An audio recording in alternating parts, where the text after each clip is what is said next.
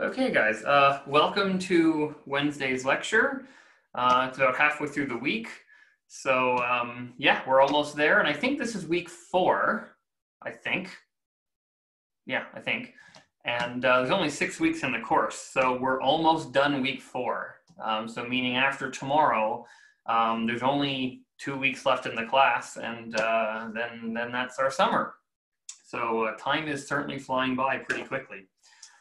Um, the midterm is marked. Uh, I just have to put the two pieces together because there's the Crowdmark piece and the multiple choice on Canvas, and they're right now they're separate. So I just have to sort of um, match up all the grades from individual students and uh, pair them up properly, and then get a nice round number out. Of, you know, and then that way, that way I can actually look at the average more more accurately, and I I can make like a, a nice little histogram graph for you guys and then show you and uh, yeah that'll be done for tomorrow and I'll, I'll make sure that that's done for tomorrow. Okay um, moving on. So we started induction yesterday. Um, yesterday i recapped that in this course so far we had looked at the first well, not the first three but three of the four maxwell's equations um, there is a sort of unspoken order to them. The first one is Gauss's law. Second one is Gauss's law for magnetism.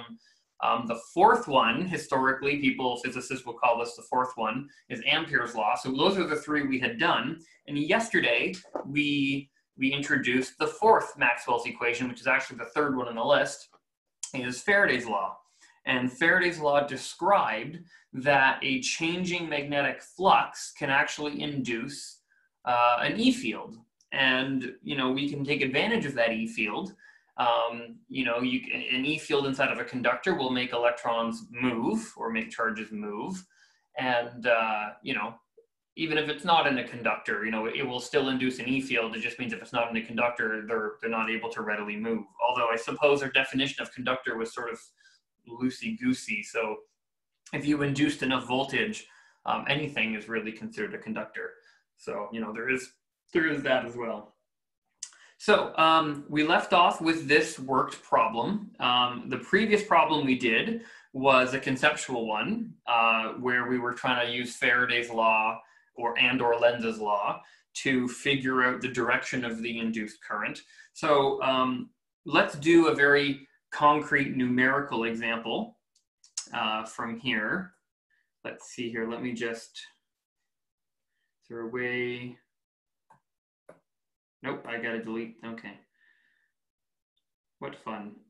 There's probably a faster way to have deleted that, but that's okay. Okay, so let's uh, let's work on this example here, just to just to refresh our memory, I guess, of what we were talking about yesterday. So a 100 loop square coil of wire that has a known side length of L equals five centimeters and a total resistance, okay, that's gonna be important, R total is going to be 100 ohms. And it's positioned perpendicular. Okay, awesome that it's perpendicular because that means we don't have to worry about any angles.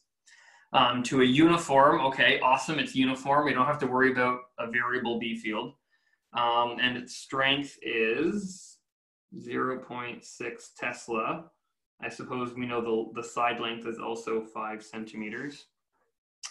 Um, the, the square loop is then quickly pulled from the field at a constant speed. So it's important to note that it's a constant speed because um, you can balance whatever, like easily balance using F net equals ma. You can easily balance the required force to pull with the opposing force, right? If that, that means the two are equal to each other. If there was an acceleration involved, then you know the applied force will be larger than the resistive force. So that's, that's important here at a constant speed. Constant speed means the acceleration is equal to zero. Um, and it pulls out where the B field abruptly drops to zero. So that's a fancy way of just saying no B field. Um, it takes a duration, delta t, of uh, 0.1 seconds for the coil to reach um, the, the, the free region. So it takes point, a very small amount of time, 0.1 seconds, to be completely pulled out of the magnetic field. Um, the rate, so then we have to, using this information, we have to calculate the rate of change of the flux through one of the many loops. Uh, we're, sorry, we also know n equals 100 loops. So what is the rate of change of flux through one of the loops? So A is asking for the rate of change of flux, so that's the derivative of flux with respect to time, um, through one of the loops. Well, we know what flux is equal to. Flux is equal to BA cos theta.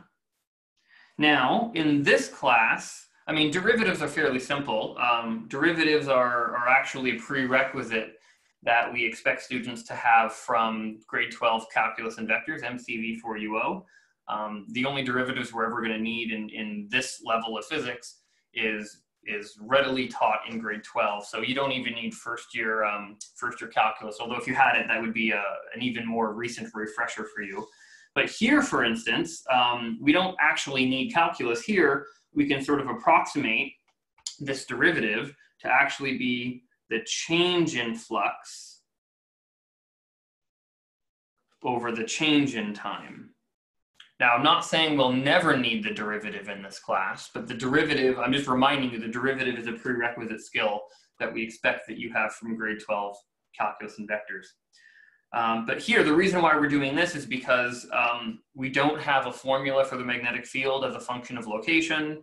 We don't, you know, A doesn't change, theta doesn't change. So here we're just gonna simply compare the flux through the, the, the loop before and, and, and the flux through the loop after. So this is gonna be the flux uh, in position two minus the flux in position one over the change in time. So now we go back to BA cos theta. The flux in position two is zero because position two is when it is um, pulled out of the magnetic field. And then the flux in position one is simply B times A. And maybe I can put that in brackets there to show you it's, it's a thing together. So um, the, the, total amount of field lines going through the square loop when it's in the field is is b times a, whatever the strength of the b field is, times the the um, area of that square loop, and then you divide this by delta t, and then you get simply ba divided by delta t. I guess technically you get negative ba delta t. So just to make sure we're answering the question properly, I'm just going to scroll back here. It says uh, part A, find the rate of change of the flux through one of the loops. So there you go. The rate of change of the flux through one of the loops is, is B times A divided by delta T. So that's going to be, um, let's see here, 0 0.6, uh, delta T is 0.1, so 0 0.6, I guess there's still a negative sign out front, um, divided by 0 0.1, and then A is 5 centimeters squared right? It's a square, so um, it's just length times length. So um, this is going to be minus 6 times 0 0.025, and that's going to be whatever that happens to be, whatever that number is. Although, in fairness, um, the formula is far more important uh, in this calculation than, than the final number. So that's how you do part A. Um, the total the total induced EMF uh, in in uh, sorry the total induced EMF and the current in the entire coil. So for B, we want the total induced EMF. Okay, so that means Faraday's law. So the induced EMF is going to equal to negative n times the change in flux with respect to time. So this is Faraday's law. And the total flux would be 100 loops times our answer from part A. So our answer from part A is B A over delta T. So our answer, our, our answer really should be 100 times that of part A. 100 times bigger, that is, than part A. Um, just to make sure um, we are sort of on the right track. Uh, we see here that the answer for, oh, let me draw a different color. The answer for part A is uh, minus 1.5 centiweber, centi, like centimeter times 10 to the minus 2. Um, this formula says here that we should have something 100 times larger than what we got in part A. So if, you know, our answer for part B, as you can see, is 1.5 volts. Well, one, like 1.5 centiweber, get rid of the centi, you get 1.5. So this seems to uh, be, be fitting with what, with what the answers say. Uh, the other thing they want to know in part B is the total current in the entire coil. So uh, for the total current, we use Ohm's law.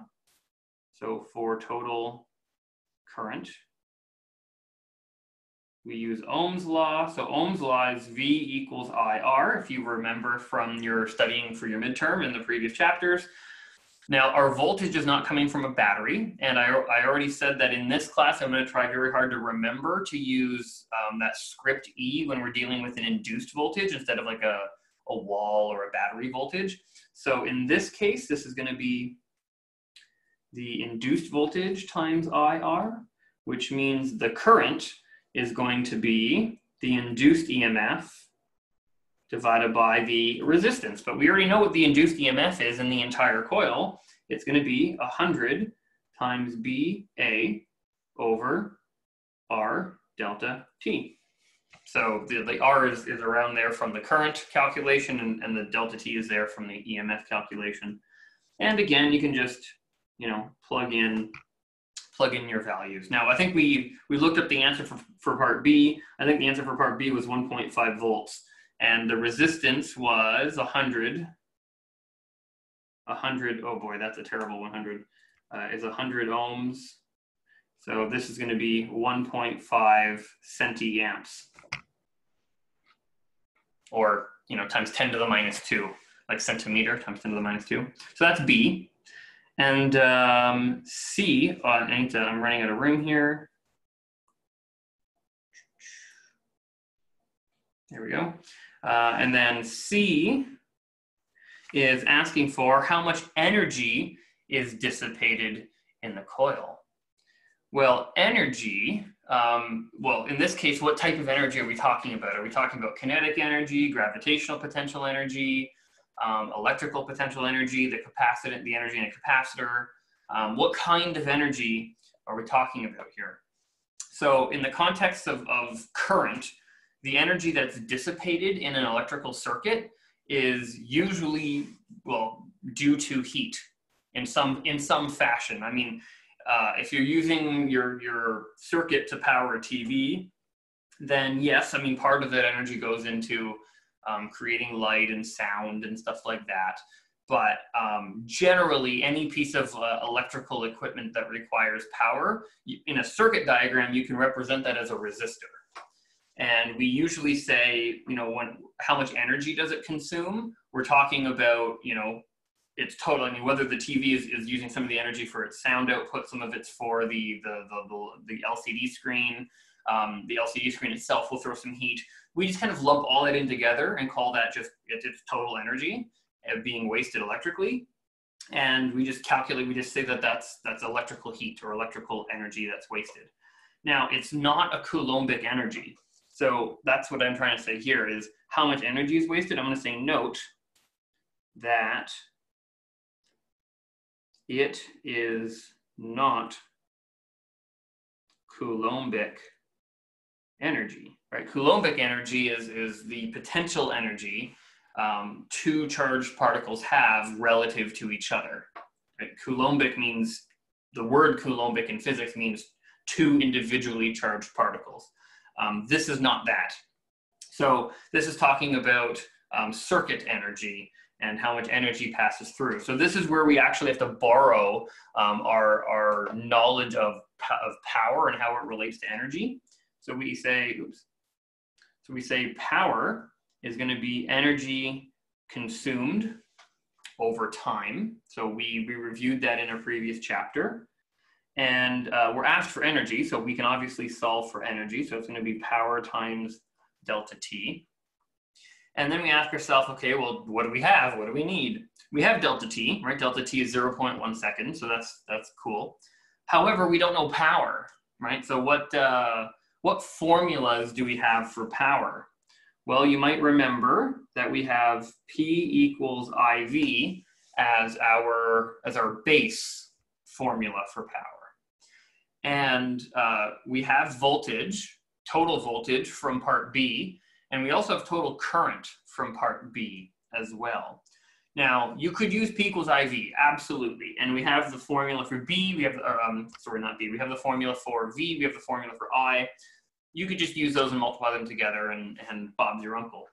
However, um, I'm just gonna warn you that there are no hero marks in physics. Actually, there are no hero marks in life. So um, a, a, wise, a more wise approach would be to approach this actually any question in any course, this course or, or any course, um, to, to minimize the chance that you carry forward a mistake.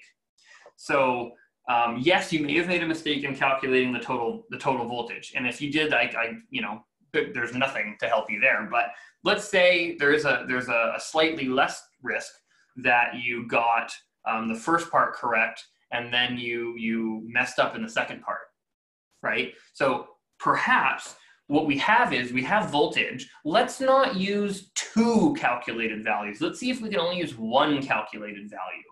So let's try to get everything in terms of voltage. So we can swap out current with, with Ohm's law and, uh, and, and then get everything in terms of volts. And we're, we're given resistance as a constant, so that doesn't really introduce any, any risk of us, of us screwing it up.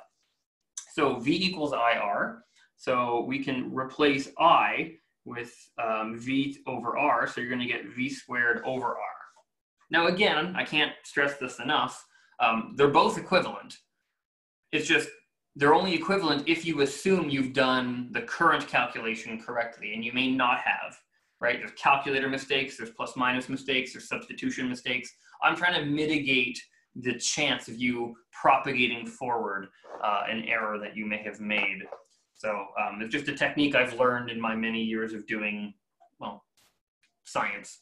And it's always just good practice to do. So let's move forward with that. Uh, so P is going to be V squared over R times delta T.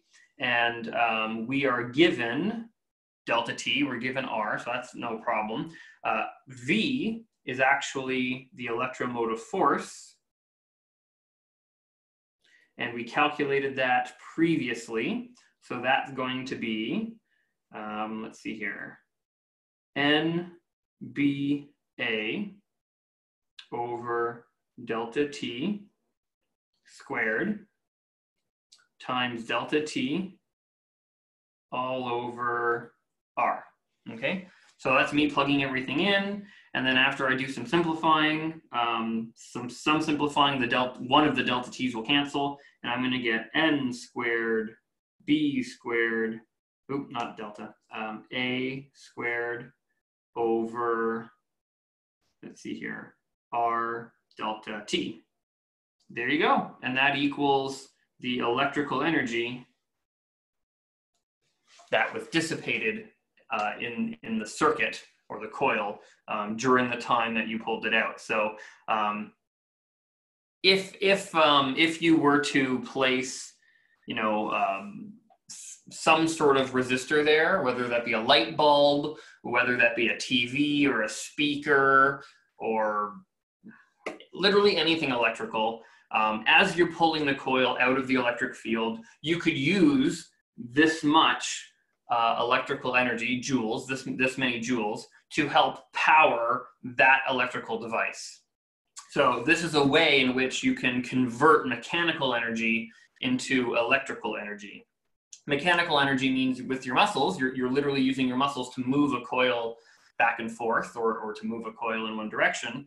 And um, that amount of work done through Faraday's law can be transformed into electrical energy, and then that can be used to power any device you need.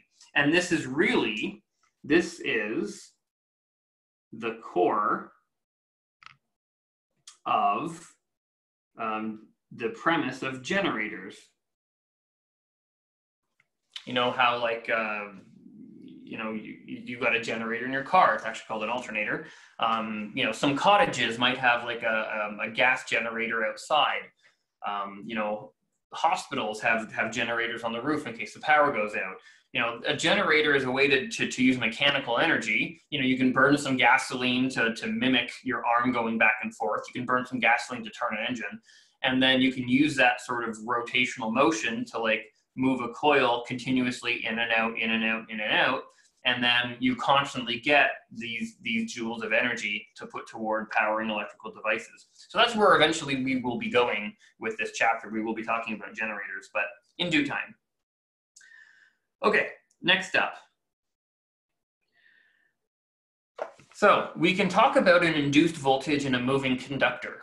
Um, up until now, we have been um, looking at a loop, uh, like a closed circuit, like a conducting circle or a conducting square, um, and, and how you can manipulate the flux. And there's three ways to manipulate flux, right? There's B, you can change the B field, you can change the area of the loop, uh, or you can change the angle of the B field, right? All of which will change the flux across a certain area. Um, however, it just so happens that uh, you don't necessarily need uh, um, um, a loop or an enclosed area of wire uh, or conductor to generate a B field. All you need is a moving conductor. So even a rod that's moving, uh, you can induce a voltage in that rod. So consider this for a second. Consider, uh, this is called a rail gun, by the way. Uh, I'll, I'll, have a video for the rail gun uh, later on in the slides. But consider this. You have a conducting wire that you bolt to the table. You know, maybe you glue it or you tack it down with some nails or something like that. I don't know. It, it's, it's part of the ground. It's a conducting wire that's part of the ground. And what you do is you have a metal rod that you just loosely place on top. You don't, you don't like glue it down or nail it down. It's just placed on top of the metal, the metal uh, rails. And then what you do is you grab the rail with your hand and you physically, with your muscles, you physically pull it this way with, with some sort of force. Now, if you pull it this way, obviously, it will have some sort of speed v inherently. Now, why is this being talked about? Why is this even a, a thing I'm bringing up on the lecture slide? Well, the point of the conducting, the red conducting rails that I've drawn, is that there is a loop that is formed between this loose metal rod and the, the U-shaped rails that are attached to the ground, right? Everything is a, is a conductor. So as long as they're touching, then they're, they're forming an electrical loop. Now, here is another way that you can, you can manipulate Faraday's law to your advantage. What's happening here is when you first put the metal rail down, the metal rod down, it forms some sort of enclosed area. Uh, let me maybe write that in a different color. It, it forms some sort of enclosed area. And when you pull the rod, in this example, you're pulling the rod to the right. When you pull the rod, what you're doing is you're increasing the area.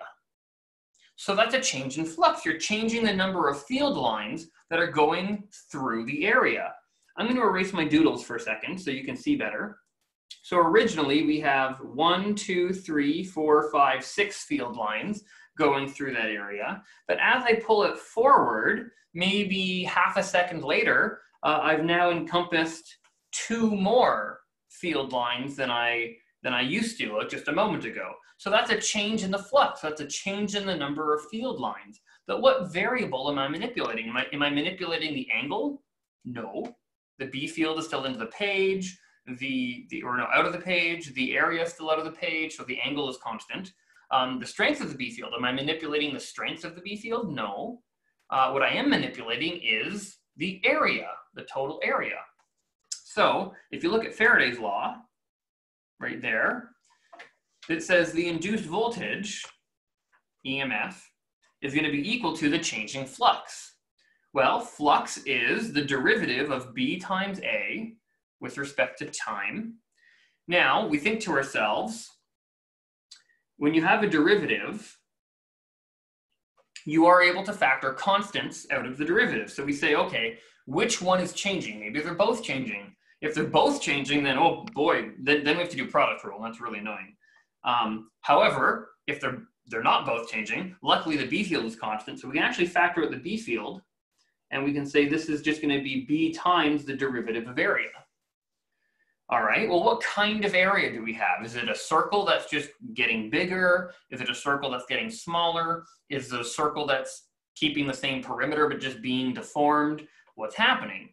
Well, what's happening here is we have a rectangle that is maintaining the same width, but is getting longer, or I guess maintaining the same height, I should say, um, but getting longer with time.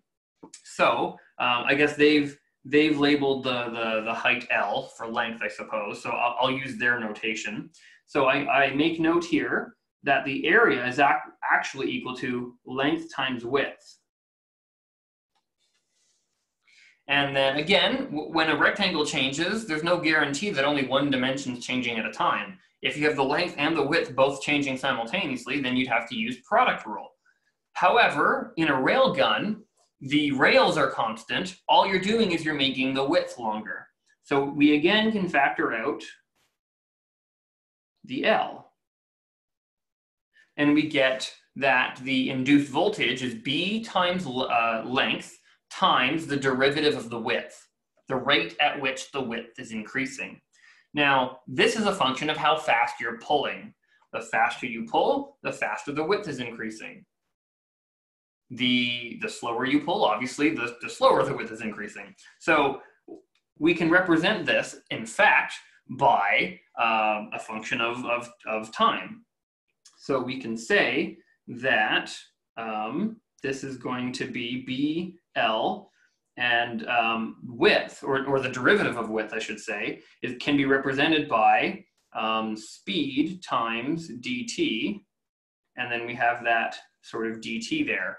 And just to be clear as, as what substitution I did, I said the derivative of width is going to be speed times the derivative of time. And if you don't know where that came from, that's velocity equals distance over time. Or more specifically, the change in distance over the change in time. So here in this equation, the delta t's cancel, or the dt's cancel, and then you end up getting b LV equals the induced EMF. Now, interestingly, that was a fairly easy derivation, might I say.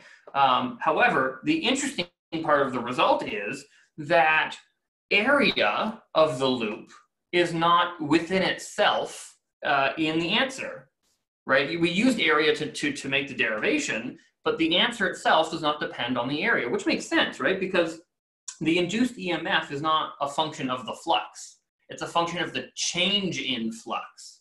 And the change in flux in this instance is not a function of how big the area already is. It's a matter of how fast the area is increasing. So an interesting implication of this formula is because there's no area, I'll say note that there is no area in the answer, it led physicists to sort of think, well, hold on, maybe we don't even need a, a closed loop. Maybe we don't even need an area because the answer isn't the fun- the induced voltage isn't the function of area. It's just a function of the length of the rod and the speed of the rod. So interestingly, they went to go test that. And they just took a simple metal rod and they moved it through a magnetic field by pulling it.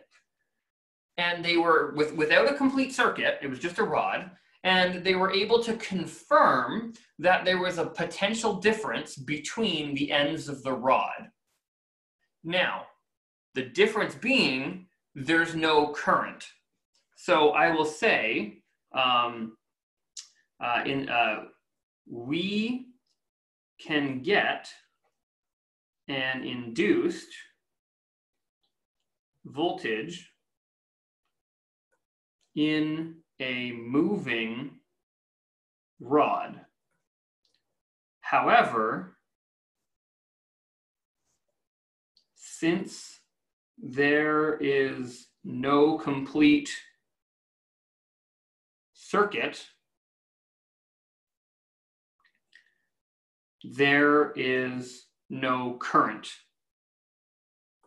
Now, just because there's no current doesn't mean there's no voltage.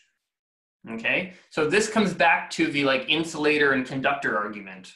Um, you know, you can think of air as as a conductor at a very very high voltage, but if you're not at that breakdown voltage, you're not going to complete the circuit. So really, all that's happening here is you are creating a separation of charge. So in blue here, I'm going to say you are creating a separation of charge, which can be thought of as sort of a dipole, if you'd like. Um, another way you can think of it is it's sort of analogous, sort of like a capacitor. Right? A capacitor has uh, positive charges on one plate and then nothing, and then negative charges on the other plate. And that's effectively what is happening here. Now, if you're trying to wrap your head around, well, Marc, there's no complete circuit, there's no area. How do you even calculate flux when there's no area? Um, how does this work? Um, another way to explain this phenomenon, although you, it, you can't get the formula this way, but another way to conceptually represent this phenomenon is we know the magnetic force on a moving charged particle, not on a circuit, not on a current, just an individual charged particle. We talked about this way back in magnetostatics. I think it was the beginning of last week.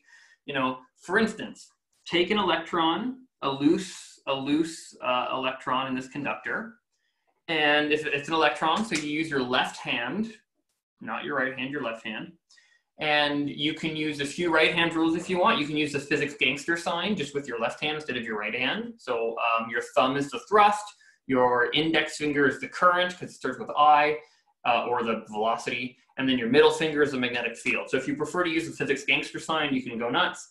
Um, if you prefer to, you know, the, use the give me money right hand rule, I guess in the sense it's left hand, you can use that one too. I'm going to use the give me money one. So um, fingernails in the direction of the B field. So left hand fingernails are out of the page because that's what we see here is, is little dots. Um, my thumb has to point in the direction of the velocity, so I have to flip my hand upside down. My thumb is pointing to the right, my fingernails are pointing at me, and the palm of my hand is facing upwards. So you see here that using magnetostatic principles, not even Faraday's law, but magnetostatic principles, you can actually predict that the negative charges or the electrons in this rod will actually feel an electric force upwards and they will move. They will literally separate. So um, I shouldn't say there isn't any current. I should say that there is a, a, small amount of current for a very short period of time while the charges are in the middle of separating. However, once they're separated and all the negatives, no, negatives are blue, while all the negatives once all the negatives hit one end, they have nowhere to go. So they pile up there and then they just stay there stationary. So when I say there's no current, I mean after things have been separated, there's no current. If you had a complete circuit, they would just keep flowing around in a circle because that's what a circuit is. But when there isn't a complete circuit, they don't. They just go to one end and stay there, just like a parallel plate capacitor. Or like when you induce a dipole and obviously the other end is red because it's positive and all the textbooks use red. And if you want to know where the positives go, even though we know now in modern science the positives don't actually move, um, you could use your right hand rule. Um, you know, fingernails out of the board, uh, your right hand thumb is pointing to the right, your palm is pointing down. So that's another way to, to analyze this. So this means that a moving rod will actually have a potential difference between the two ends of the rod. A little side story um, can you think in real life, can you think of a real life example of, uh, of a metal rod or, or what could be approximated, I suppose, as a, as a metal rod that is moving through a magnetic field on a regular basis? Actually, I'm going to open the chat now because I want to see. Oh, I, I hit something. What did I hit? Um, I okay. Let me I don't know what I clicked. I'm going to go back to the chat. And now the chat isn't opening. Of course it's not. Okay, hold on. Welcome to Microsoft products. There we go. Okay. Um, okay, so here's the question. It, can you think of a real life example of when a metal rod uh, is traveling through a magnetic field? Is that, is that, can you think of a real life example of when this would happen on a fairly regular basis? And I know we've all, we all know what this is. What I'm trying to get at, we all know what this is.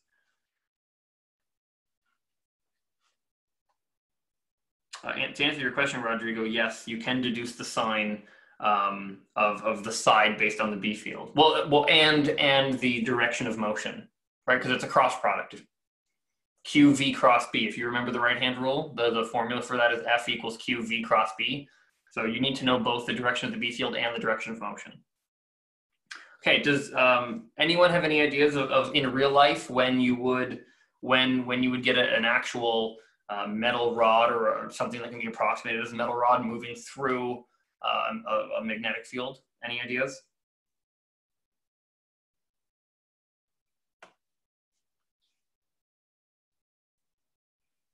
Hmm. Okay, I'm not seeing anything coming through. So I know everyone, and especially in today's climate, um, there's a lot of talk about about this specific thing here. Um, an electric guitar bridge. That's an interesting thought. Um, although although electric guitar bridges do use um, they do use the principle of Faraday's law. It's a little bit different, and we will talk about electric. Well, the premise of electric guitars later on. It's actually a transformer. It's, it's not solely just this. What I'm getting at here is actually airplanes. Um, and now with COVID, the topic of air travel is is a big is a big thing right now. Do you really want to get on a in, you know in a, in a petri dish of an airplane um, and travel with with recycled air uh, for any length of time during COVID? But anyway, point being, uh, an airplane, the wings, even the fuselage, but the wings are you know a, a metal conductor from tip to tip, and the Earth has its own magnetic field. Right? We know the North Pole is well, geographic north is north, which is weirdly um, well, not so weirdly what you know, but magnetic south. So the, the, the, Earth has its own magnetic field, and when airplanes are traveling, they're traveling through a constant magnetic field. So the you can actually approximate this. Come on, you can actually approximate this as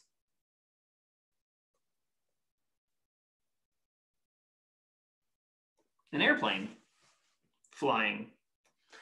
And there's actually circuitry uh, in the plane that has to accommodate for the the voltage difference between the wingtips because you know that could cause you know interference with other instruments um, there's a it's a buildup of charge and you know when you have motorized mechanical things in a device they are definitely sensitive to the flow of charge because the flow of charge is a current so um, you know there there has to be uh, accommodations for that. The, the, the engineers of an airplane have to sort of take this into consideration.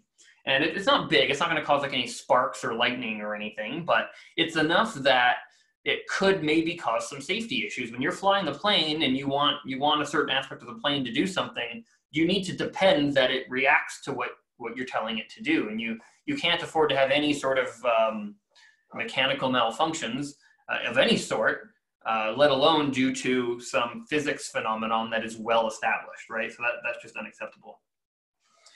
So anyway, I just thought that's a cool example of, uh, of, of that. Okay, so uh, moving on, we, we, let's go back to the railgun for a second. Uh, if we look back at the railgun, if we if we kind of put this this uh, rod um, rod back onto a U-shaped rail, we can use uh, Lenz's law to figure out the direction of the induced current. So um, if, if we are pulling the rod to the right, we are increasing the number of field lines through the surface. Okay, so Lenz's law says a current will be induced to oppose that.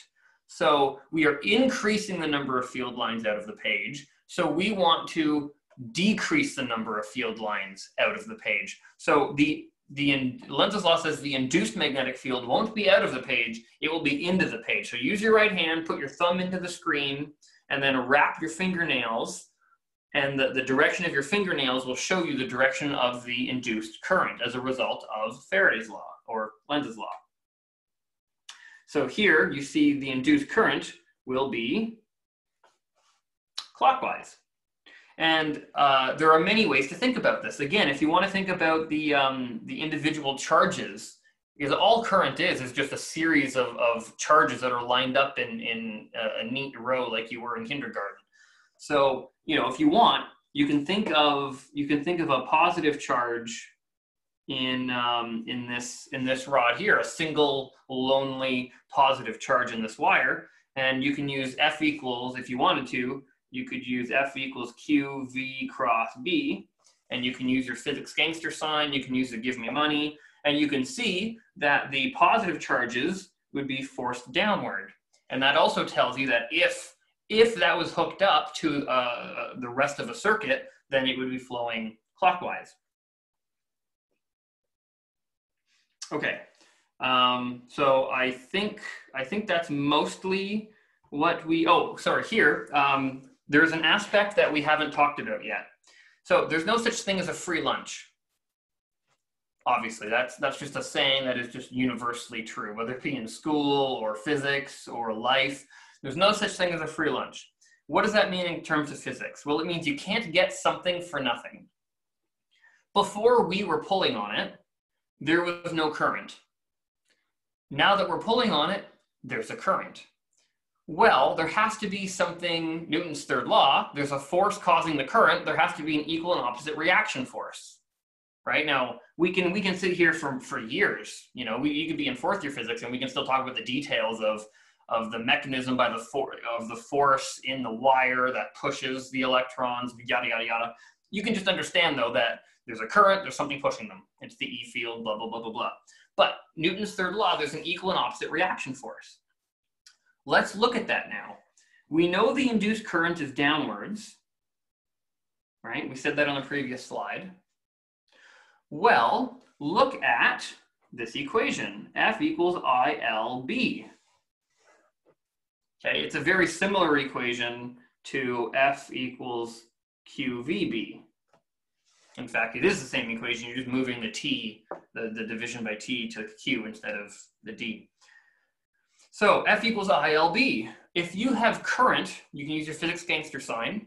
If you have your current, index finger current pointing down, middle finger, MF, magnetic field, is pointing out of the board, then your thumb for thrust is going to be pointing to the right, sorry, to the left to the Beyonce, to the left. So as you're pulling, your arms, your muscles are physically pulling this to the right. If you were doing this, what your muscles would feel is a resistive force. And your brain, now your eyes can see it, but your brain can't see it. Your brain just feels there's a resistive force. It doesn't know where it's coming from. And if your eyes didn't know physics, your eyes would be like, "Oh my God, this is this is an invisible resistive force. It's magic." However, the physics says the resistive force is uh, uh, an opposing magnetic force. There's no such thing as a free lunch. So, this resistive force is actually so famous because it's unavoidable in fact, pretty much all of physics can be pretty much summed up by there's no such thing as a free lunch, i.e. conservation of energy. Um, this is so unavoidable and such, such a, an important concept in, in circuits and electromagnetism that we've called it a name. Uh, it's called eddy currents, named after the person who sort of formalized the notion. Um, more technically, there, it's called a back EMF. A, a, a back EMF resists the flow of of the of the current. And um, that's that's what's happening here. A back emf is something pulling backwards. It's, it's you're pulling it to the right. A back emf literally will pull it backwards. It'll try to tug of war and it'll try to put it back to the left. So it's called a back emf technically but most physicists will will refer to them as something called an eddy current. And an eddy current is just a current that is induced that that resists the the change it, it will pull backwards so I want to show you um, a video of a railgun because I don't think my explanation has done it justice. Usually when I teach this class in person, I will bring in a railgun and I will show you a railgun in person. However, we don't have that luxury this year. So here's a video, I hope you like it, of, of a railgun.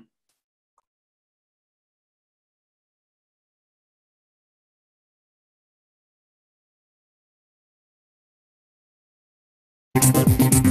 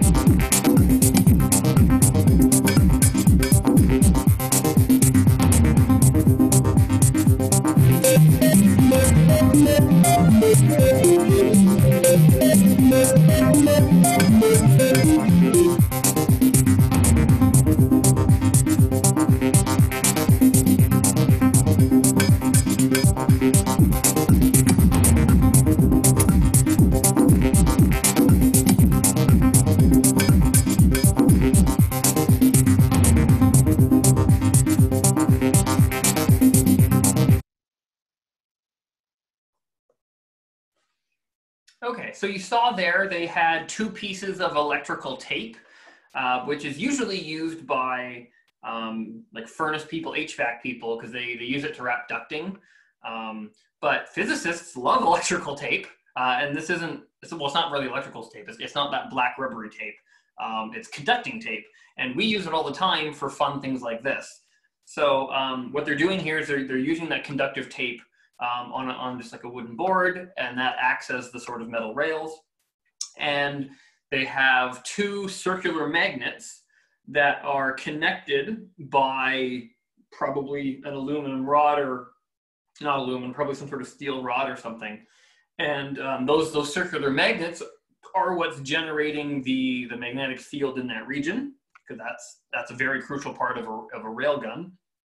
And uh, because of that magnetic field, you saw them hooking up a battery and you saw them um, clamping the two ends of the battery to the ends of the, of the conductor tape. And they sent a current through it. And, and that's the physics of a railgun. So you saw it, it, it, um, it they, they gave it a little bit of a nudge. And uh, once it was moving, there you go. It was, it was, uh, it was a railgun. Pretty cool. Um, I, I, looked briefly at the chat um, while while the video was happening. So to answer the most recent question, um, the eddy current is the current induced by Faraday's law. And when we say like a back EMF, that's just another word for for it. I mean, an EMF is a voltage and a current is a current. So you know when you talk about eddy currents, we're literally talking about the current that is induced as a result of Faraday's law. Um, and then you can talk about a back EMF is just divide by resist or um, multiply by resistance, you get EMF, you know, V equals IR. So one's, one's the current we're talking about, one's, one's the voltage we're talking about, but they're, they're almost interchangeable. Um, as long as you understand that the result is, is the, the induced, induced um, uh, either current or, or voltage. Okay, so um, here is a conceptual question about railgun. So I want to see kind of how how with me everyone is. So I'm going to launch a poll. Actually, no, before I launch the poll, because I don't want to intrude on your screen yet. Yeah, let me shrink this a little bit so you can see it. Okay, so let me launch the poll. Here we go. So let's see how many of you are following along with me. A conducting rod slides on a conducting track at a constant B field that is known to be directed into the page what is the direction of the induced current? Clockwise, counterclockwise, or no induced current? Oh yeah, the Jeopardy music. I keep forgetting about the Jeopardy music.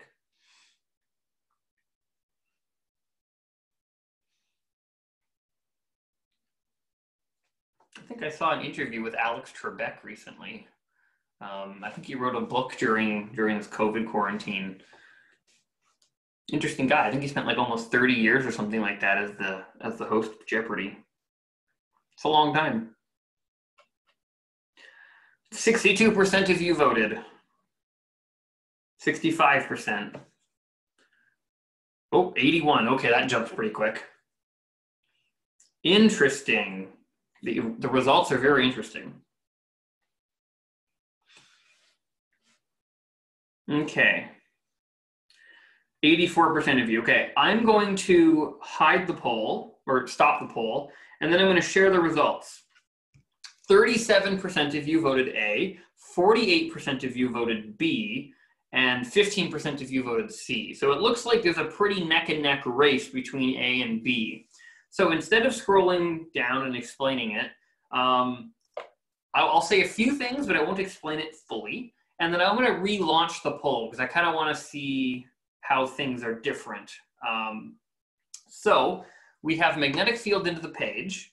Uh, we have a, a, permanent fixed rail that is not moving. And then we have a rod, a blue rod, laying on top that is known to be moving to the right. We have that sort of enclosed area. And as it's moving to the right, the, that enclosed area is getting larger and thus including a, a, a, different amount of magnetic field lines, so it, its flux is changing. And we are using uh, uh, Faraday's law and Lenz's law to predict the direction of the induced current. And the induced current, Lenz's law says, is going to be opposing the direction of the change in flux. So think about that again. I'm going to relaunch the poll. And uh, give it another thought. And I want to see kind of how how that has changed your your perspective on what's going on here.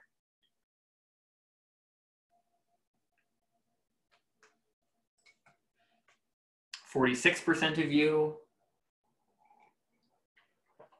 fifty-three percent of you, fifty-nine percent of you.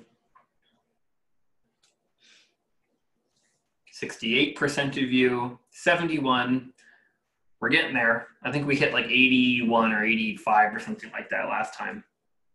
Percent, that is. 78%. Oh, yeah, the results are much different now. 78, well, we got to 80 something last time, but for the interest of time, I'm going to end the poll. If you didn't get a chance to vote, that's okay. You know, again, I'm not marking these. I've got, they're anonymous. I've got no idea who's, who's voting here. So if you didn't get a chance, that's totally okay.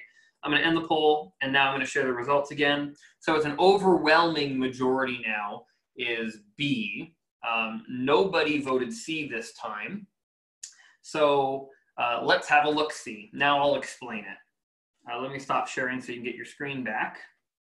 So let's have a look-see here. What's going on? Well, as the blue rod is moving to the right, we are including more field lines into the page. So the change here is more field lines into the page. We want to oppose that.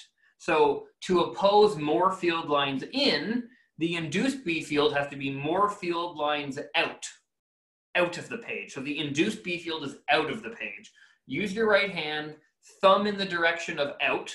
So, you know, hold it away from the tablet screen, presumably pointing at you.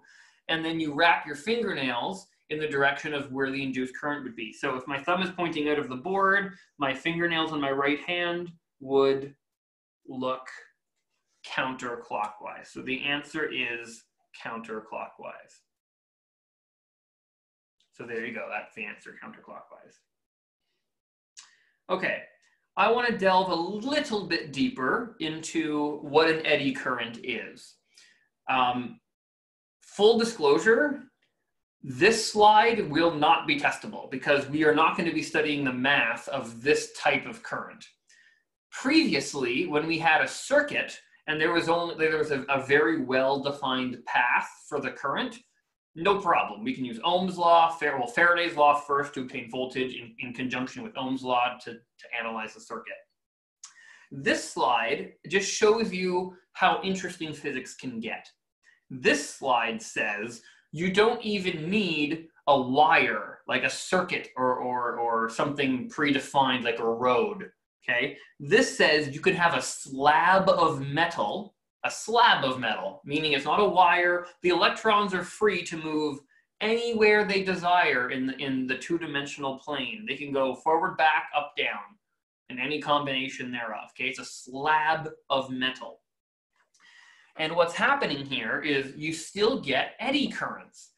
Now, if you direct a, a localized magnetic field in a very narrow range of the metal disk, this localized magnetic field could be maybe from a hanging bar magnet just above. You could literally hold a bar magnet a few inches above this metal disk. Um, that would be one way you could obtain a B field in a localized region of the disk. And that alone doesn't cause a current. However, if you rotate the disk, then what's happening is the, uh, well, let, us use the positive charges. Then the, oh, what is, a, what is physicists thought to be uh, thought to be right is now wrong. If we look at the positive charges, even though I know it's the electrons that move, but for the sake of, of consistency with the textbook, if we look at the positive charges in the metal here, then what we're doing is we can look at F equals QVB, or technically V cross B. So if you take a, a, a positive charge and you are rotating the disk, you are literally rotating or moving that positive charge to the right. And the B field is into the page. So if you use your right hand rule, B field into the page, um, um, uh, velocity or, or um, uh, current to the right, then your thumb, or not your thumb, the palm of your hand points up. So this will actually feel a force upwards which means it will move upwards. Now, of course, protons don't move. We know that now, but anyway. Um, so you see here, the current, the induced current, or what we call the eddy current, uh, on the right-hand side of this magnetic field uh, as it rotates. You can see the arrows here are pointing in a clockwise fashion because here they're feeling a force upwards, which causes clockwise.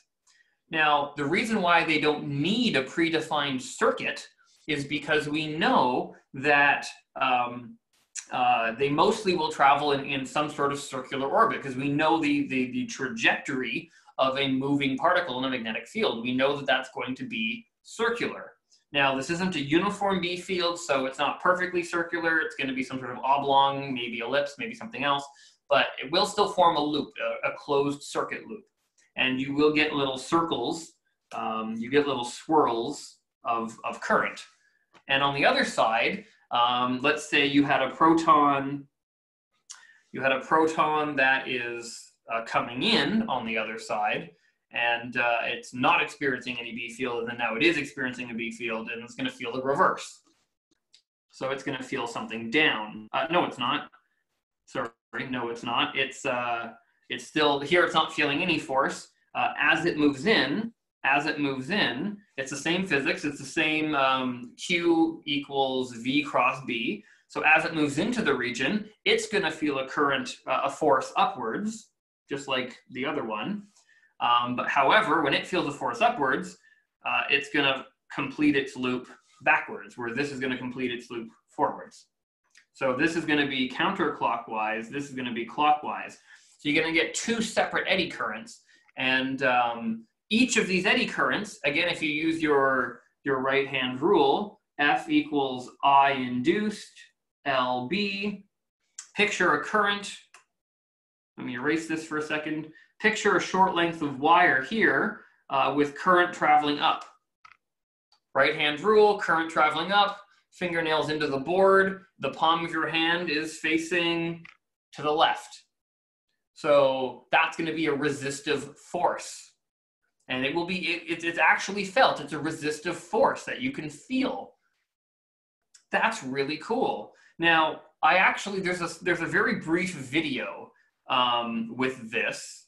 And you can see the video um, very brief. It happens very very briefly. You can see it in the theme song or the beginning little intro bit to every single one of our lab videos and uh, I'm going to take a brief, because I'm, I'm, doing a lot of talking here, we're doing a lot of review. So I'm going to take a brief pause, and I want to show you, now let's see if I can manage this. Um, let's see if I can manage this. I might need my keyboard uh, for this. We'll see here. Um, okay, uh, let's see here. Can I find, let's go to here. Can I find the UTM physics page? And the on-screen keyboard does not want to work. Okay, let me grab the keyboard. Okay, I'm hoping that didn't disrupt the screen sharing by putting on my keyboard. So let me find UTM physics. Here it is. So if we find the theme song, um, oh, I, I, well, I guess it's the theme song. I guess that's um, that's not necessarily at the beginning of every lab video. Um, how do you search? Oh, search theme song. Aha, here it is. So if you look at the theme song for our physics page, come on. What's going on? Did it freeze on me? Oh, yep, the computer froze. Okay, the computer froze. I'm asking it to do too many things at once.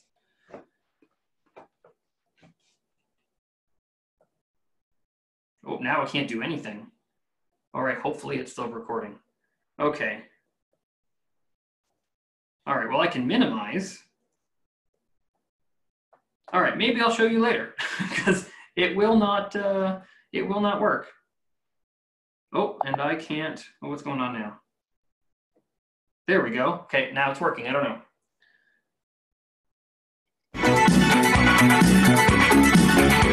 Well, I, I put the cat in a box. Okay, that was it right there. In fact, that's my arm uh, in that shot. So you see that we've got an aluminum disc that's spinning beneath, uh, beneath the magnet and we are hanging a bar. Well, it's not even a bar magnet. It's like a really, really small bar magnet. We're hanging a magnet off of a, uh, off of a string that's only a few centimeters above. And as the disc below it spins, you see that there is uh, demonstrably a force acting both on the disc and on the magnet. Because Newton's third law, you can't just have a one-sided force. If there's a, a resistive force in the disc, that force has to be coming from something. And it's coming from uh, the magnet. So that magnet also feels a force, but because there's nothing, there's no, like I'm not holding the magnet in place, it's it's free to pet, it's free to swing on on the string like a pendulum. You see the magnet itself is displaced. So let me just rewind a little bit here, and uh, you can watch it uh, one more time. Well, I, I put the cat in a box.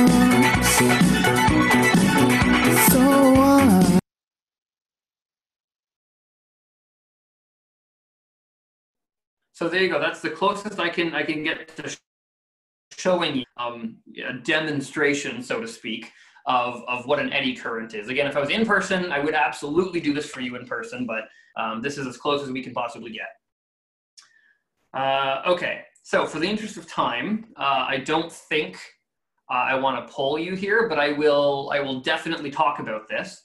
So an eddy current example.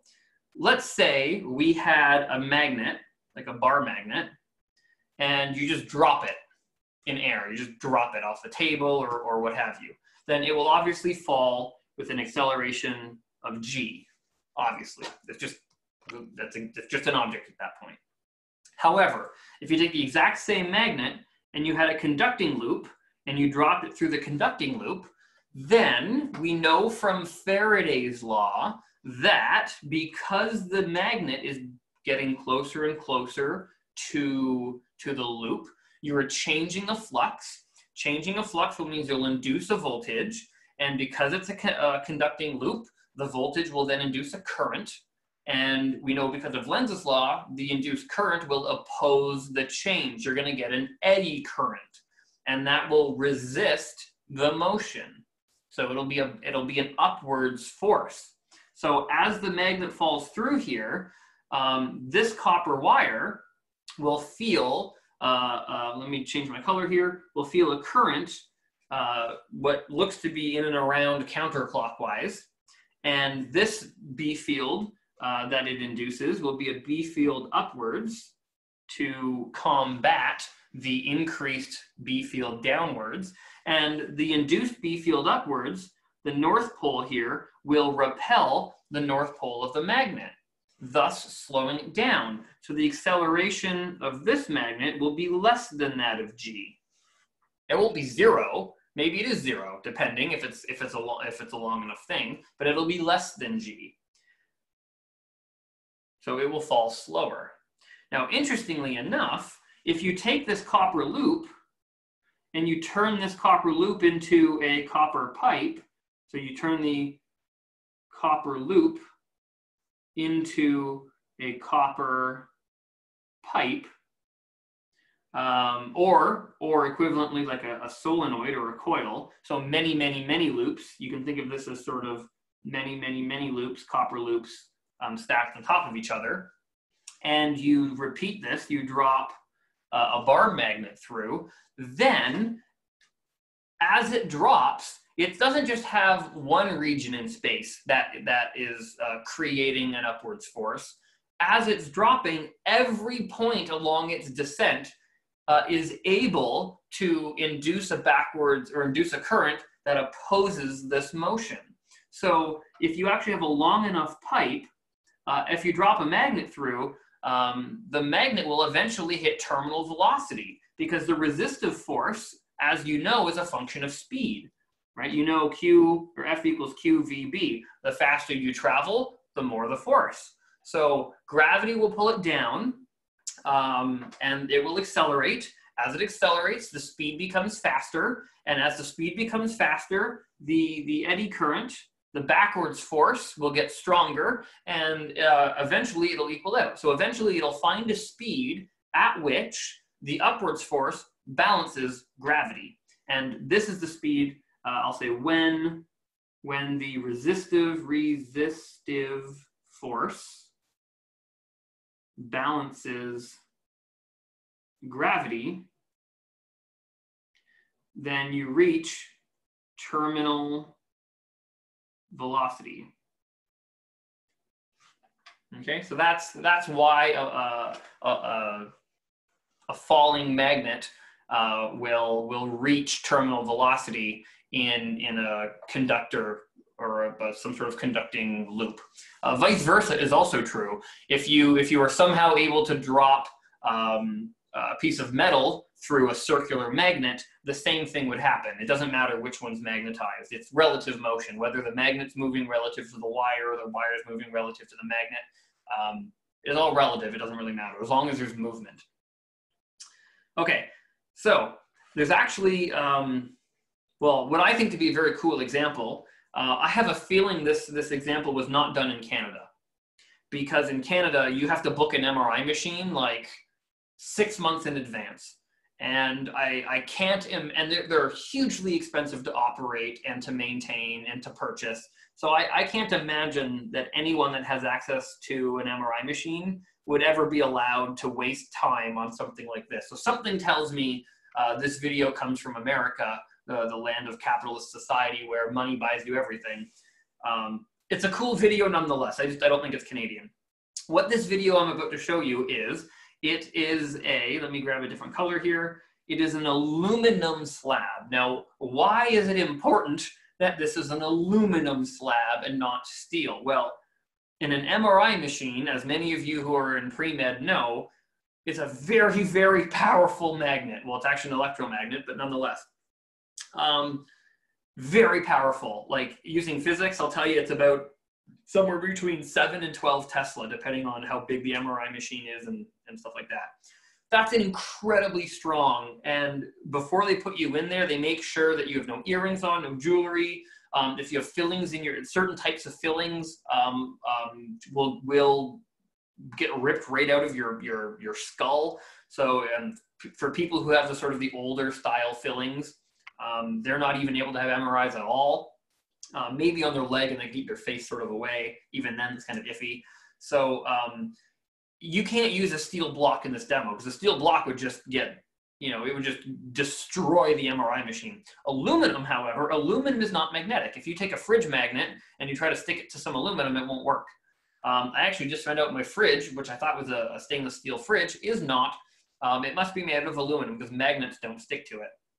So that was, they stick to the side of the fridge though, but not, not the front of the fridge. Anyway, so here it's still metal, aluminum is still a conductor.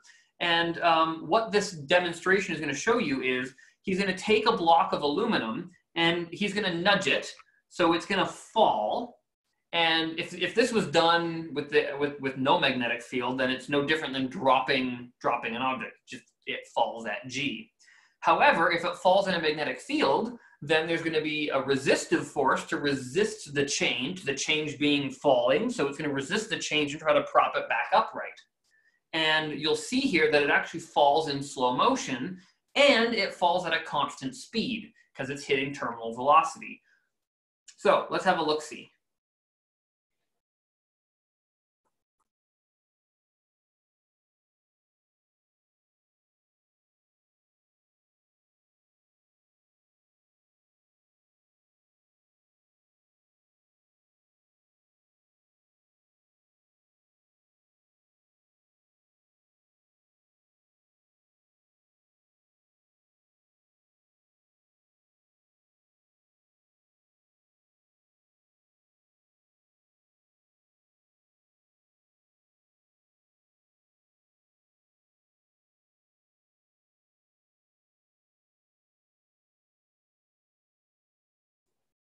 So there's no sound to the video, but I'll try to narrow. You've seen it now a few times. So here, um, he's dropping it in a different direction. So when he drops it sideways, there's no change in flux. But when it falls, actually, I'm going to pause this temporarily. So what's happening here is when it falls, when it falls down, the magnetic field lines look, it, it's an electromagnet, so they, they look like a bar magnet. They're coming through this way.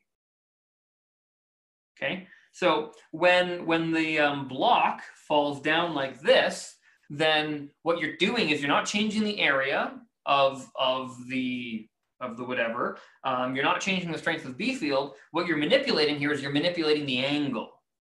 And as it falls, you know, when, when, when the block looks like this, then you only have one or two field lines going through it. But when the, when the block is sort of upright, like we see here, then we have all of the field lines going through it. So that angle, that change in angle, um, changes how many field lines are going through it, and then that's what you get Faraday's law from. Faraday's law kicks in, and then you get an induced current in such a, in such a way that it opposes the motion. However, um, you just saw here in the video that he had it on its side. He had the short side, and he let it fall sideways. Okay, instead of forwards, he's, he let it fall sideways. Now, the reason why that fell really quickly in the video is because if you, again, if you look at the field lines, the field lines are coming through, and as it falls sideways, or maybe I'll draw that in a dotted line, as it falls sideways, okay, you still have the same number of field lines going through the surface. So even though it's moving through, um, it's the same number of field lines are passing through that, that cross-sectional area. So there, is, there isn't that induced eddy current, and there isn't that, that resistive force, and it falls pretty quickly. So I'm gonna resume it again, and we can keep looking. So here he's holding it off center. Now, it, without a magnetic field, that would just fall. Here again, it's on a bit of an angle falling forwards. Um, so you've got those magnetic field lines coming straight out parallel. And as the angle is changing, you're changing the number of field lines. So you're inducing a backwards current. But you can see here it's falling at mostly a constant, mostly a constant velocity because that's terminal velocity because it's such a strong magnetic field. Um, you don't really need a very fast moving, a very fast moving object uh, to induce such a strong current. There he's going to do it on its side again, and the side it falls pretty quickly, right? Because as it's falling sideways, you're not changing um, the flux.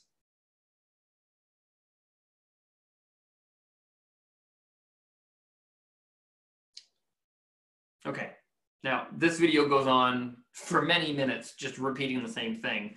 Um, so we don't have to watch the whole thing, but I, I think it's cool. Um, I think it'd be very cool to have access to an MRI machine. And uh, I mean, obviously for the medical benefits, but even for the physics, I think, you know, a physicist would, would, would probably break an MRI machine pretty fast because we would, we would just be using it for fun little things like that. Um, okay, so let's move on. We've done enough concepts for at least momentarily. Let's talk about applications of this because I would say Faraday's law is probably the one thing in first year physics, both 136 and 137, maybe aside from classical mechanics like cars and the physics of a car and driving and stuff like that. But um, Faraday's law is probably one of the most commonly used things in the real world, and you have absolutely no idea that it's Faraday's law governing what what that cool that cool new gadget is. So one example is is induction cooktops. Uh, these came out maybe about 10 years ago and uh, or at least became mass consumable about 10 years ago um, where they advertised oh look you could be cooking you know boiling a pot of water and you could move the pot of water away and, and touch touch the stove top with your hand immediately and you wouldn't get burned ooh it's safe um, you know that is called an induction cooktop and that is that that it uses Faraday's law to to work. So what? How do they work? Well, the basic premise is underneath um, underneath that region, instead of a heating element, which is usually what you would get on a stove, is, is um, a piece of metal that has a very high resistance. You're pumping a huge amount of current through. It glows red and it heats up. It heats up because of the resistance, just like a light bulb. And uh, that's how the, the heat gets to the pot and cooks your food. An induction cooktop, however, works not through um, conduction, not through like literally having a, a, metal pan touching a hot other piece of metal. This works through eddy currents. So what, what happens here is you have a coil underneath there and you have an electricity that runs through the coil. Now, when there's a, a current traveling through the coil, we know that it, it will induce a B field. And uh, the B field will look a lot like what, what is drawn here. It'll look like a bar magnet.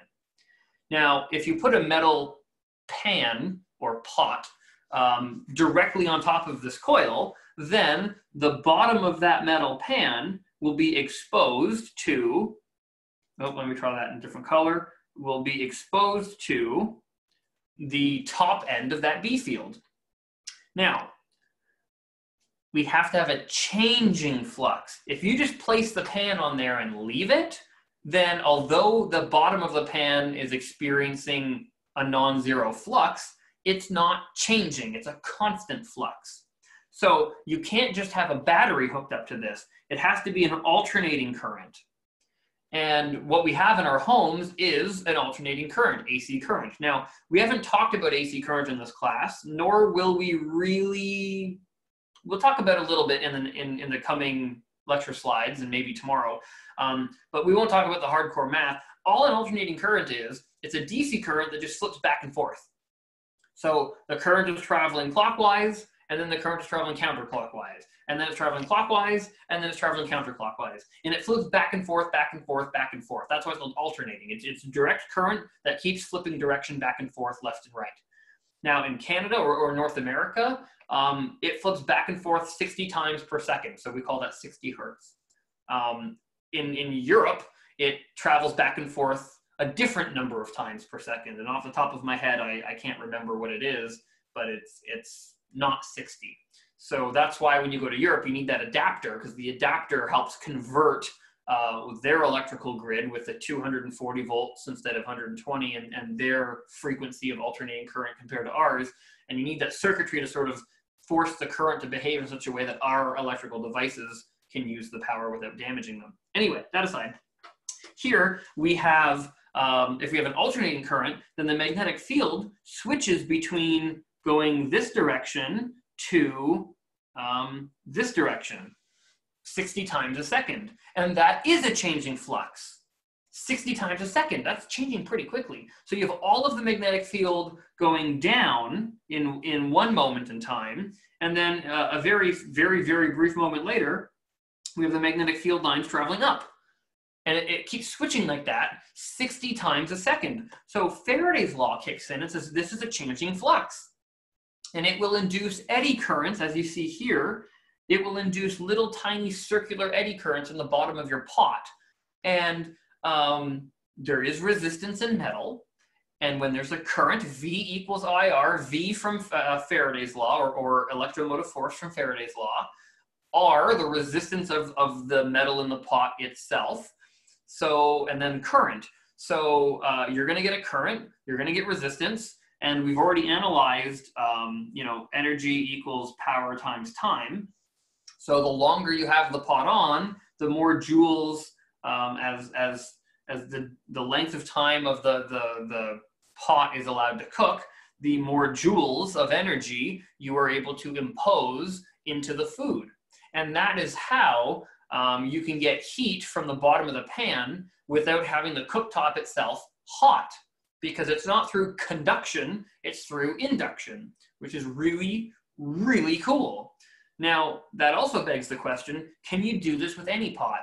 And um, for those of you who have induction cooks, uh, cooktops at home, you'll, you'll realize, or you may be asking me, but Marc, you can't just do that with any old, uh, with, with any old metal pot. Not all pots are metal look at the mechanism by which um, the heat is generated. It's through the resistance in the bottom, right? So if you have a you know a, a, a thin pot, then you're not necessarily going to have enough material to generate enough heat to you know it, for this eddy current to produce enough heat into the food. So if you notice, if you have special induction uh, cookware, you'll notice that there's an extra thick piece of, of metal that is sort of welded to the bottom of the pot. You'll notice this if you, even if you Google, if you, um, after the lecture, if you want, you can Google on, I don't even know where you would buy online, probably Walmart, I don't know. Um, Google induction pots. And if you, or Amazon, I guess would be a, a safer bet. You could definitely see one on Amazon. Um, you can zoom into the picture and you'll see the bottom of the pot is extra thick compared to a normal, a normal pan. And they need that extra metal there because they're, they're trying to take advantage of the resistance to, to generate uh, enough heat to transfer into the food. Um, another application of Faraday's law that's been around for eons, um, well before induction cooktops, is metal detectors. You know, you might be more familiar with metal detectors at, say, the airport, um, or you know, you know those new those new ones where you have to you know stand with the hands above your head or whatever. Those aren't quite metal detectors. They use something similar but slightly different. Um, but anyway, uh, maybe you you've used these at the beach. You know, you can buy a metal detector on a pole and uh, and uh, find some buried treasure in the sand. Um, this is also working on the principle of Faraday's law. What happens in metal detectors is there is a source current, you know, it's like with a, with a battery, and um, this, what this does is this generates, uh, the, the source current generates, uh, here's the source current here. Um, so using your right hand rule, we see that the magnetic field will look like down, down, down. So the magnetic field, as you see here in the picture, um, at the center of the loop is all facing down. And what you're doing is you have to sweep it. You've got to move and sweep the end of your metal detector. If you just hold the metal detector stationary over a piece of metal, it won't notice it. So what's happening here is you're sweeping this metal detector across a piece of metal. So what happens is um, the, the magnetic field lines from the metal detector are being swept across it. So you know here you have a, a full flux, and then maybe a, a moment later in time, your your your head of your the head of your metal detector is maybe say over here and all your field lines are over here and then the flux is zero well if the flux changes between a maximum to zero it's going to induce an eddy current in this thing and that, that eddy current is, is still a current it's a physical current there are electrons that are actually moving and that eddy current within itself will induce its own B field. So this is B prime, B prime being B induced. And this, this induced B field uh, is being felt by this thing. And that, that's a changing flux through this loop. So then we have a second instance of Faraday's law because this loop feels a changing flux, and then we have its own induced current. And that own induced current can be felt and sensed by the circuitry in the metal detector itself and say, oh, I'm detecting a back EMF. I'm detecting a, an eddy current in my, in my own loop. And then that's when it sounds the alarm beep, beep, beep, beep, beep. There's a piece of metal here. So really what a metal detector is doing is it's reacting to the magnetic field produced by the eddy current when you're sweeping the head across a piece of metal. And something very similar happens in an airport.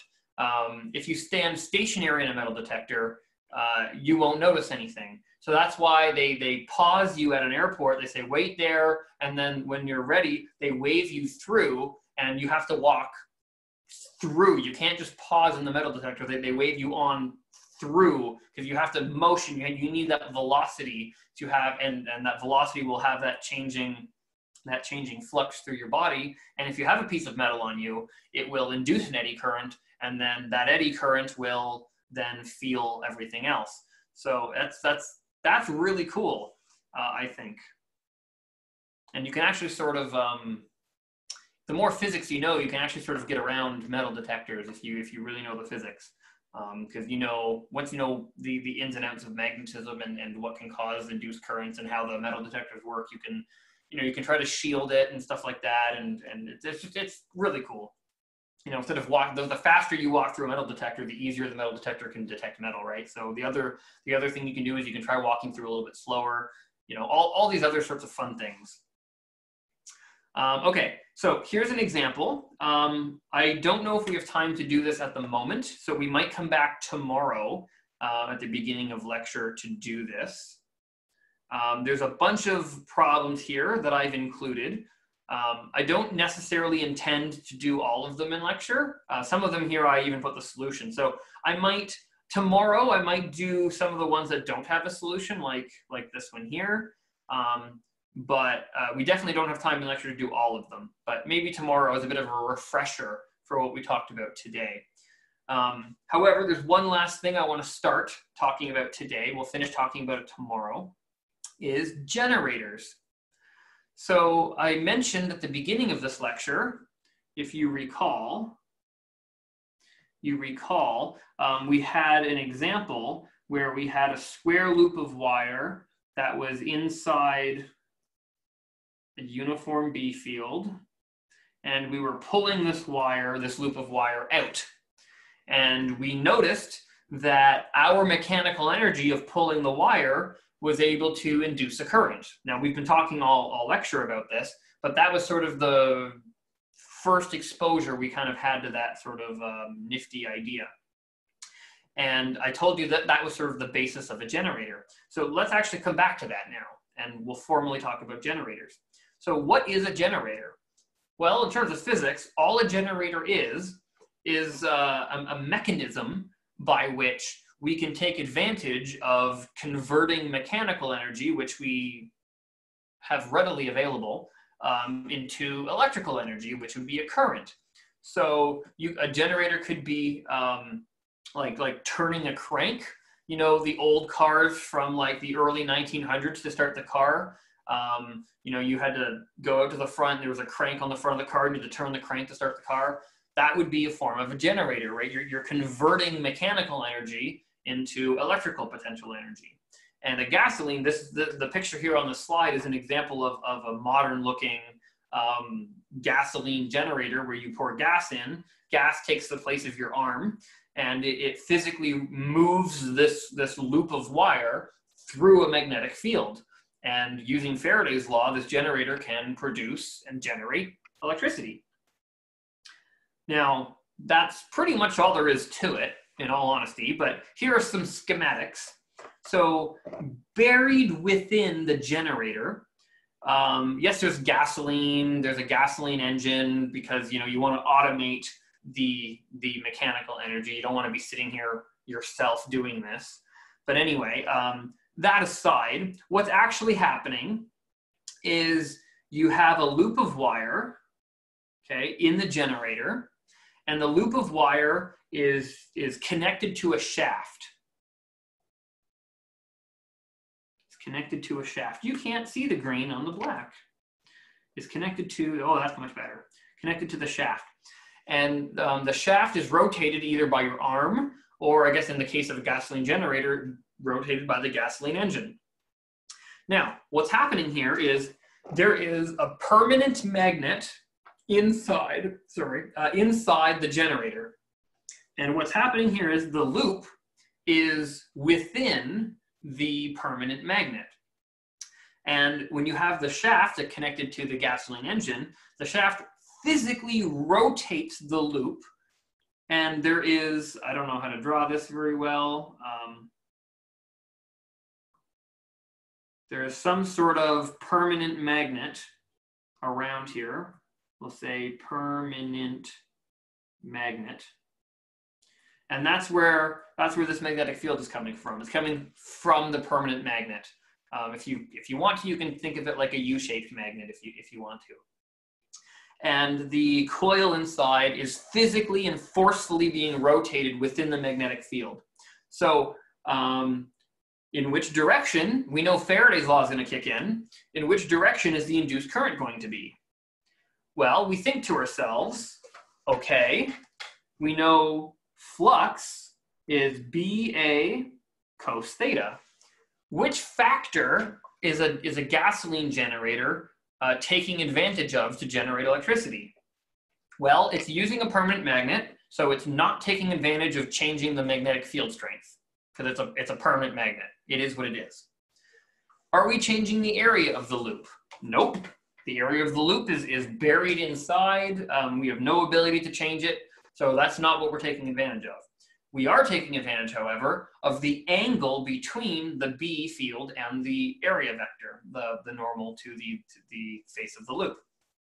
So at the moment in this picture, um, as, a, as an example, the B field is uh, traveling or directed horizontally. So at this moment in time, there is no flux through the loop. All the field lines are passing over the loop, not through the loop. Now, if you crank it, forcefully crank it in this direction, as indicated here, then um, at a moment in time later, the loop is going to be uh, up at a bit of an angle. So phi 2 is going to be greater than 0. We are increasing the number of field lines, increasing the number of field lines through the loop. Now, Faraday's law, or I should say Lenz's law, says the induced current would want to oppose that. We are increasing the number of field lines through the loop.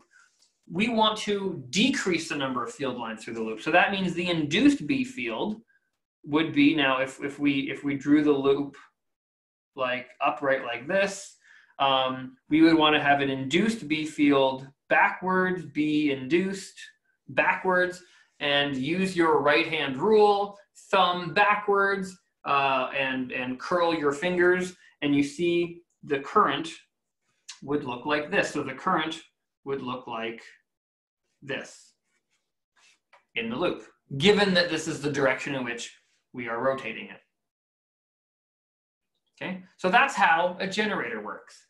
Now, um, for those of you who don't have cottages or don't know that hospitals have generators, um, you know, many of you will think that you don't have, a, you've never seen a generator in action before, but you have. It's called an alternator. You know your car has batteries. And why does a car have a battery? Well, back in the early 1900s, um, well, you need a spark to burn to burn the gasoline, right? That spark used to come from the spark plug. And where did that spark come from? Well, in the good old days of 1920s, um, when you wanted to start your car, you would crank it with your own arm, and you would you would crank this this loop uh, in in a magnet, and that would generate a current while your arm was forcefully turning this coil in a magnet. And it was hard to do. It was very hard to do because there's a, there's that back EMF that you're feeling. And so it was really hard to start a, to start the car, especially in the wintertime in Canada. Anyway, that, that's a different story. Um, so you need this, you need this, this, this um, source of energy for the spark plugs. Now, once the, the car was started, um, there was an alternator. Okay, so once the car was started, um, the engine was burning gasoline and to get it to mechan- the source of, of mechanical energy. And in addition to pulling the car forward, the the um, the car would uh, the engine would also spin something called an alternator. So you see here, there's actually a mess of coils here, just a huge rat's nest of coils. Um, all this is is just a very very well thought out uh, way to wrap very efficiently as many loops of wire as they can in a limited amount of space. So they didn't just do it messily and haphazardly. They they did it in a very logical way. And what they're doing here is um, there is a, a, a, permanent magnet, as you can see here.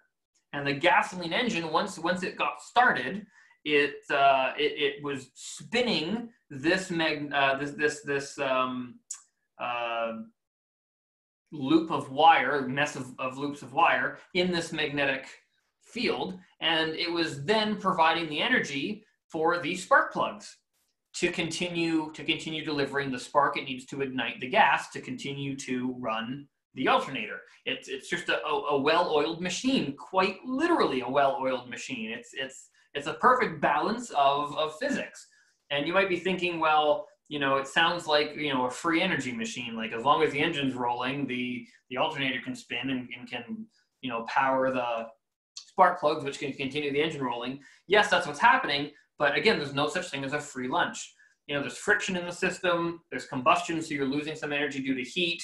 You know, there's resistance in the wires. So, you know, you can't just get the engine moving and then it's forever moving. You're constantly having to feed it mechanical power by burning gasoline. So, you know, there is no such thing as a free lunch. How is it getting this power? By burning, continually burning gasoline. And that's that's why you have to fill up on gas every now and then. Now, since the 1920s, we've developed batteries, car batteries. Well, all batteries, but specifically car batteries in this case. So instead of having to crank your car now in modern time, uh, we use batteries. So the, the battery is, you know, in the engine compartment of your car, and it, it, it, takes the place of, of you actually cranking the engine. So your, your car has something called a starter, and a starter is, is literally a DC motor. So your car has a starter, and if you don't believe me, you can Google, you can Google like starter for a car or a lawnmower or whatever. And all this is, is it's a DC motor and it, it mimics your arm cranking the engine. It, it, it literally with a set of gears uh, is connected. There's a flywheel that comes out when you when you turn the key in your car. There's a flywheel from the starter that comes out that connects to the engine, and then um, the battery in your car I think it's a 12 volt battery, so it's not even a super high voltage. Um, the battery in your car will, will run the DC motor in the starter and it artificially cranks the engine. And then uh, your battery will also simultaneously provide the power for the spark plugs. And then once your car is running, it, it moves the alternator and the alternator will provide the power for your car stereo, your headlights, your horn, the spark plugs, and, and everything else, and your air conditioning, now, here's the question though. Why do you only have to like like you have to charge your phone almost on a daily basis? You know, using your phone, your battery dies. Why do you only have to change the, the car battery once every like three or four years? Well, because as the car is running, the alternator will charge the battery. So it's this really nice marriage of of you know converting chemical potential energy like gasoline into electrical potential energy. And that marriage is done through Faraday's law. It's really, really quite beautiful. And that's why if you use like a, if you go to a drive-in theater, um, not you know like you know you're sitting in your car, your engine's off, and you're you've got your stereo on. Um, they at intermission, there's always a sign or a little ad that comes up that says you know during intermission, everyone turn on your car and let it run for 10 minutes. And you know, I've literally heard people say, "Well, that's just a waste of gas. That's just stupid. Why are they saying that?" Well, they're saying that because if your car isn't running, your your car stereo is running on your car battery, and nothing's charging your car battery. And and what they would hate for you to do is at the end of the movie, your your battery is so dead it doesn't have enough juice to turn your car engine. So um, they tell you at, at, intermission to turn on your car so you can spend 15, 20 minutes um, charging the battery in your car. Now, as a quick side note about cars, um, I drive a standard. I don't drive an automatic. I drive a standard. And I only drive, well, I drive standard for two reasons. I like to have total control over my two ton piece of self perpetuating death metal. Um, you know, a car is effectively a weapon on the road, and I, I personally want to be in total control of that weapon at 100% of the time. So I don't like an automatic transmission telling me what I can and cannot do with my car. Um, that's one reason why I drive a standard. The other reason why I drive a standard is because um, you can actually pop the clutch to, to turn the motor of the car. And this happened to me once. I was actually at the drive-in once about three years ago, and uh, I didn't realize this. My battery was getting old, and it was needing to be changed soon. I just didn't realize. And uh, my car didn't start after after the movie. And luckily for me, I was able to use the kinetic energy of my car. You're, you're always parked on a little bit of a hill when you're watching um, when you're watching um, a drive-in theater.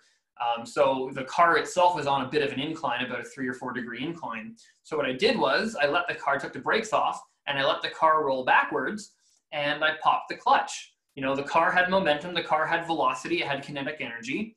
And when I engaged the clutch, I connected the engine with the tires, and I stole the kinetic energy of the car, and I used the kinetic energy of the car in, in, in place of the starter or in place of the battery, and it, it was able to turn the engine over once. And that's all it needed to have one spark of the spark plug to ignite the gas, and you can start the car that way. And then as I drove home, it, it charged the battery. And then a few a few days later, I replaced the battery because I realized it was getting old. So two reasons why physicists should always drive a clutch. Um, a lot more fun. Oh, they're also a lot more fun too. Oh yeah, Romina also drives a stick. I should have. Uh, I, I, knew that, and I should have mentioned that. So uh, I don't know. Well, her her dad's her dad's not a physicist, and her dad also drives a stick. So maybe there are other reasons why she drives uh, a standard. But anyway, um, the other I was going to say something else. Oh, um, uh, there, there is one type of automatic transmission that I will lovingly drive, not just begrudgingly drive. Um, if you have an electric car, let's say like a Tesla, um, a Tesla doesn't have any transmission, quite frankly. Um, a Tesla, it, it, has its motors, instead of a gasoline motor, it has an electric motor. And each tire looks, the, the engine on each tire looks a lot like an alternator actually. Each tire has its own DC motor. It, each tire has its own mess of coils, and it, it uh, we pump current through it from the battery. And when you pump current through a coil, we get torque on the coil. We've already talked about that previously, torque on a coil. Uh, remember, torque on a coil was IAB. So you get torque on this coil, and it actually, that's what rotates the tires forward. So there is no clutch. There is no, in, there's, no, there's nothing in between me and the tire. It's still, with an electric car, it's you and then the tire. You know, uh, with, a, with an automatic transmission, you know, there are times when you want to go accelerate and then your engine doesn't respond because there's a bunch of moving parts underneath your car that's automated and, and you know, you want it to do something and it doesn't right away and it's really frustrating. So anyway, with an electric car, it's there's still nothing be, like there is nothing automated. There's no gears. If you want to go faster, you just deliver more current to to the to the to the motor, and then more current means more torque, which means faster movement. It's pretty simple. And uh, you might ask yourself, well, how do you charge the car on on a well how do you charge the battery on an electric car? Yes you have to charge it more frequently. People with a tesla right now i think you can get up to maybe like 200 kilometers before you have to recharge the battery. Um, but the way they sort of elongate that span is with the brakes instead of brake pads where you squeeze you squeeze the tires they use um, in, well they, they do partially that as well in case you need to stop really quickly but they use magnetic braking um, when you brake, they, they turn the DC motor into a generator. When they brake, instead of feeding current to the DC motor, they, they stop the current from the battery when you push on the brake. And what they do is they, they use the rotation of the tire as, as a generator to spin the coil inside the magnet. And that creates a back EMF, which charges the battery. So in a, in a Tesla, every time you brake, you are partially charging the battery. So again, this marriage of of old technology and new technology, but it's based on the same physics. Whether you have a, a com- an internal combustion engine, it, it's there's still a lot of Faraday's law in it, And if you have a Tesla, it's just a newer, shiny version of a car. Um, and, and instead of burning gasoline, you're using up stored chemical charge in a battery, but you still have this sort of marriage of DC motors and Faraday's law. So I just, there is so much physics that goes into a car. It's just, it's mind blowing how cool it is. Like, you know, there's the physics of driving and the friction pulling the car forward and centripetal motion when you turn a corner and torque when you want to flip a car and banked curves when you go on the highway, like all the classical physics. And then there's this little modern physics in a car that's just remarkably cool. Absolutely remarkably cool. Um, okay, so I don't want to jump into transformers just yet um, because that's a whole new that's a whole new topic, um, and there's there's quite a lot to that topic. In, in, in five minutes, it, it, would not be it would not be appropriate to sort of start a topic and then stop. So a natural stopping point would be the end of generators. Um, the only thing I really expect students to really uh, understand from a generator is, well, I mean, for one, the underlying physics is Faraday's law. So, um, you know, what can you do with generators? What kind of homework questions can you do with generators? You know, all a generator is, is just a loop of wire that is being rotated through a magnetic field. So the equation you're still dealing with is Faraday's law. BA cos theta, or I should say the derivative of BA cos theta. So, you know, you can talk about, um, you know, the faster, the faster, uh, the, the faster rotation rate, the more voltage is going to be generated. Um, the more loops you have, the more voltage is going to be generated. Um, so generators, like there's nothing new with a generator. Um, there's no new physics. There's no e no new equation with a generator. The only thing new is the application, right? It's all the same physics. Um, the chapter of generators is, is merely uh, an example of how we can use Faraday's law to our human advantage and how if you know physics you can actually manipulate nature around you to to do your bidding which is actually a really if, if that doesn't convince you to be a physicist i really don't know what else could um, you know when you actually know physics you can manipulate everything around you to, to, to make your life easier that's really the, the fun part about being a physicist uh, okay so that's enough for today um, we're a few minutes early, which is okay. So I'm going to stop the recording, but then I'm going to hang on the line and I'm going to take any questions that, um, that students may have. Okay, so if you're watching on YouTube, I will see you tomorrow and we will pick it up with an example of, of Faraday's law that we skipped earlier, and then we're going to resume it with transformers. Okay, ciao for now.